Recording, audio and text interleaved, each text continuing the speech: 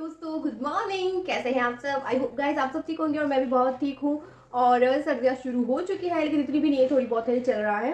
तो गाइज़ आज मैं बात करने वाली हूँ हेयर स्पा के बारे में जो कि हम घर पे बनाने वाले हैं डी आई वाई है ठीक है?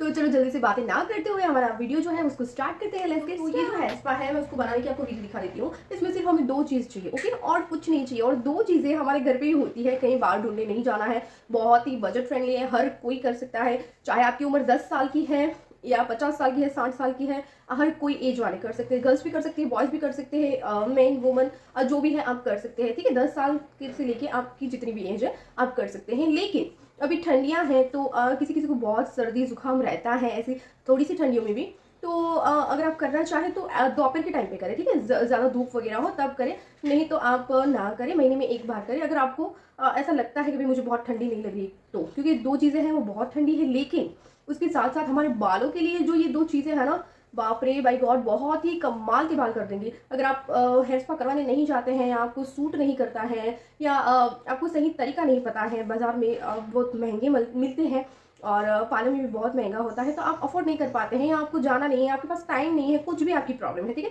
तो इस चीज़ को आप अवश्य करें और आपको अगर बहुत ज़्यादा ठंडी लग रही है तो आप महीने में एक बार इसको ज़रूर करें। लेकिन अगर आपको ठंडी नहीं लग रही है नॉर्मल है और इतना कुछ नहीं है, दोपहर के टाइम पे आप अपने लिए टाइम निकाल सकती हैं या निकाल सकते हैं और आपके बाल रूखे हैं, बेजान हैं, नीचे से एकदम ड्राई हो जाते हैं, झाड़ू जैसे बाल हो जाते हैं, बिल्कुल शाइन नहीं है और बहुत ज़्यादा रूखे सूखे हैं मतलब ऐसे हो जाते हैं, दिखने में भी अजीब से दिखते हैं, ठीक है? तो आपको इसको महीने में दो बार करना है, ठीक है? अगर आप चाहें तो हफ़्ते में एक बार करें, नहीं तो पंद्रह दिन में एक बार ज़रूर करें। तो इसके बेस्ट रिज़ल्ट आपको मिलेंगे गाइस सीरियसली आपको दो से तीन बार में ही आपको रिज़ल्ट मिलना दिख जाएगा. तो चलो जल्दी से हम हमारा देख लेते हैं रेमेडी की हमने क्या दो चीज़ें मिक्स की है. उसके बाद में आपसे मिलती हूँ किस तरह से लगाना है, कितना टाइम इसको रखना है और फिर किस तरह से इसको वॉश करना है. वॉश करने के बाद भी क्या करना है ओके तो मेरे साथ बने रहें और जल्दी से चलिए. तो दोस्तों, उस हेयर स्पा के लिए हमें चाहिए दही, जो कि घर का जमाया हुआ है बहुत ही अच्छा है. और उसके चाहिए, उसके लिए चाहिए मुल्तानी मिट्टी, आपके पास जो भी हो, आप यूज़ करें. बस ये दो चीज़ें चाहिए हमें और कुछ नहीं चाहिए. अगर आप चाहें तो इसके अंदर नारियल तेल डाल सकते हैं, ओके? मैं आगे समझाती हूँ आपको, ठीक है? तो इन दोनों को मिक्स कर लेते हैं। गाइस अगर आपकी लेंथ ज़्यादा है तो आप ज़्यादा मुल्तानी मिट्टी पाउडर ले सकते हैं। और मेरे जितने हैं तो इतनी हो जाएगी, दो से तीन चम्मच। फिर आप डालें इसमें दही, ओके? फिर इसको अच्छे से मिक्स करना है हमें। देख सकते गाइस बहुत ही अच्छा पेस्ट बन चुका है क्रीम की तरह, ओके? अब इसको लगाने का तरीका दिखाती हूँ मैं आपको। दोस्तों, देख लिया कि कैसे बनाना है, ओके? इसमें हमने डाली है मुल्तानी मिट्टी और दही।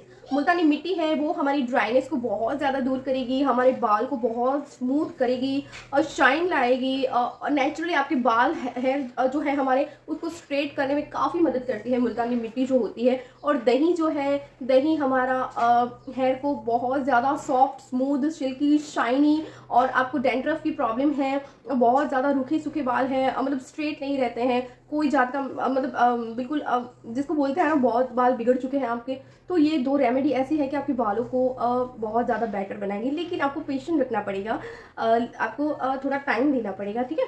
अगर मैंने कहा कि उसमें ऑयल मिक्स करना है, देखो, मेरे बाल जो है ऑयली है ओके और मैंने कल रात को ही मैंने अच्छे से ऑयल मसाज किया था, ठीक है?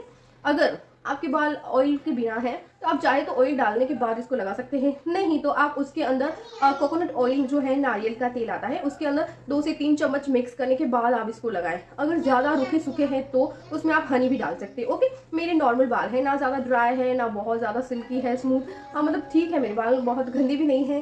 तो आप समझ सकते हैं, मेरे बाल आप देख सकते हैं, और नेचुरली स्ट्रेट है। मैंने काफ़ी टाइम पहले करवाया था हेयर स्ट्रेटनिंग लेकिन मेरे बाल जो है नेचुरली स्ट्रेट है। और ये रेमेडी तो बहुत ही बालों को बहुत अच्छा कर देती है। अगर आपके बाल बहुत जड़ रहे हैं तो इसको भी ये स्टॉप करेगा, बहुत धीरे धीरे कम कर देगा, ठीक है?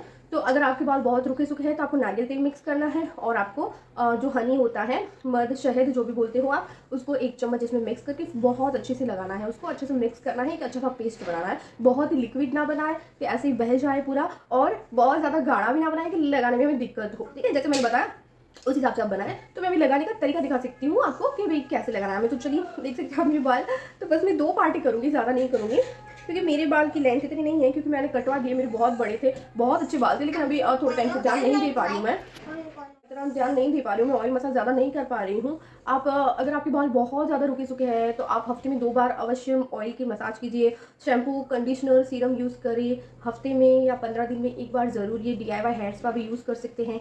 तो आपके बाल जो है वो बेहतर होते जाएँगे। हमें थोड़ा टाइम देना पड़ता है। हमारी जैसे स्किन को देते हैं, हमारी बॉडी को देते हैं, हमारी हेल्थ को देते हैं, वैसे ही हमारे हेयर को भी देना है। और साथ ही साथ आपको खाने में भी अच्छा अच्छा चीज़ें खानी है। और अभी तो ठंडियाँ शुरू हो गई है तो गाजर वगैरह मिलती है तो वो आपकी स्किन के लिए भी बहुत अच्छा है और आपके हेयर के लिए भी बहुत अच्छा है। आंवला मिलता है अभी तो आंवला का, अगर आपके हेयर फॉल बहुत हो रहे हैं तो आप आंवला का जूस भी पी सकती है, ठीक है? इसके ऊपर मैं हेयर हैक जो होते हैं हेयर हैक्स मैं उसके अलग एक वीडियो बनाने की सोच रही हूँ कि आपको क्या क्या करना है हेयर केयर तो चलिए अब जल्दी से और इस तरह से लेना है आपको। और आप इस तरह से लगाएँ। आपके बाल अगर स्ट्रेट नहीं है, आपको स्ट्रेट बालों का शौक है तो आप इसको लगाएँगे तो आपके बाल जो है वो मुल्तानी मिट्टी बहुत ज़्यादा स्ट्रेट भी कर देगी और दही है वो आपके बाल को बहुत रफ होते हैं ना।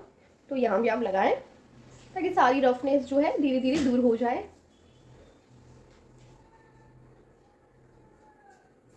और ये नहाने जाने के पहले करें, ताकि अगर आप चाहें तो हाथों पे, अपने फेस पे, नेक पे भी लगा दें।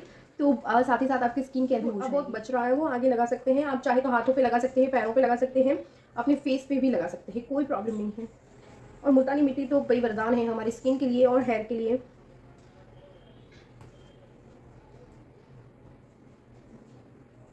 दोस्तों मैंने इसको अच्छी सी पूरी बालों पे लगा लिया है ठीक है? अब इसको मैं 15 से 20 मिनट रखूँगी ज़्यादा से ज़्यादा आधा घंटे से ज़्यादा नहीं रखना है हमें और ज़्यादा इसको सूखने नहीं देना है ठीक है? क्योंकि फिर ये बहुत ड्राई हो जाएगा ओके तो इसको आ, मैं ड्राई होने देती हूँ 20 मिनट तक और उसके बाद मैं इसको वॉश करूँगी। पहले सारा जो भी है पानी से निकालूँगी और नॉर्मल वाटर से क्योंकि बहुत ठंडी है अभी तो ठंडे पानी से आप भी ना निकालें क्योंकि सर्दी होने के चांस रहेंगे। तो नॉर्मल गर्म पानी से आप वॉश कर सकती है कोई प्रॉब्लम नहीं है। उसके बाद आपको शैम्पू करना है ओके और उसके बाद आपको कंडीशनर भी करना है। और उसके बाद आपको सीरम भी लगानी है। तो आपके जो बाल है ना वो सीरियसली बहुत सिल्की स्मूथ हो जाएँगे। मैं आपको दिखाऊँगी आगे। तो मैं इसको सूखने देती हूँ उसके बाद आपसे मिलती हूँ। मैंने अपने हेयर वॉश कर लिए हैं और पहले पानी से वॉश किया उसके बाद शैम्पू एंड कंडीशनर किया है। अब मैं इसको नेचुरली जो हवा होती है हमारी तो उसमें सूखने देना है। हमें कोई ड्रायर वगैरह यूज़ नहीं करना है ठीक है? आप चाहे तो पंखे के नीचे बैठ सकते हैं वरना ऐसे ही इसको सूखने दी कोई बात नहीं जितना टाइम लगता है। आप देख सकते हैं इतने स्मूथ लग रहे हैं ना अभी। अभी मैं इसको सुखाऊँगी उसके बाद सीरम लगाएँगे। अभी थोड़ी और गिले है थोड़ी सूखेंगे उसके बाद मैं सीरम लगाऊँगी। उसके बाद मैं आपको दिखाऊँगी कि कैसे बाल हो गए हैं। तो गाइज़ आप देख सकते हैं, मेरे बाल सूख चुके हैं और कितने सिल्की स्मूथ हो गए हैं गाइज़ सीरियसली आप देख सकते हैं, बहुत ज़्यादा सिल्की लग रहे हैं. सीरियसली इसका बहुत अच्छा रिज़ल्ट है और आप ज़रूर करके देखिए, आपके हेयर जो है वो बहुत अच्छे हो जाएँगे और सिल्की स्मूथ हो जाएँगे. और थोड़ा टाइम आपको ध्यान देना पड़ेगा, लेकिन बहुत अच्छे हो जाएँगे, आप देख सकते हैं. एक ही बार में कितने बाल सिल्की स्मूथ लग रहे हैं. शाइन भी आ गई है. तो आपको ज़्यादा टाइम नहीं है तो महीने में एक बार करें। अगर टाइम है तो महीने में दो बार तो ज़रूर करें अगर ज़्यादा आपके रफ हो चुके हैं।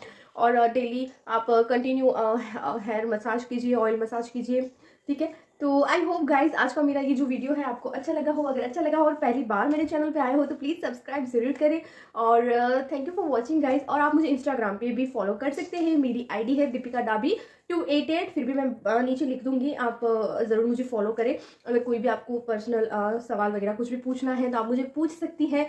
तो और आप ज़रूर करें आपको बहुत अच्छा रिज़ल्ट मिलेगा ठीक है? तो thank you for watching guys bye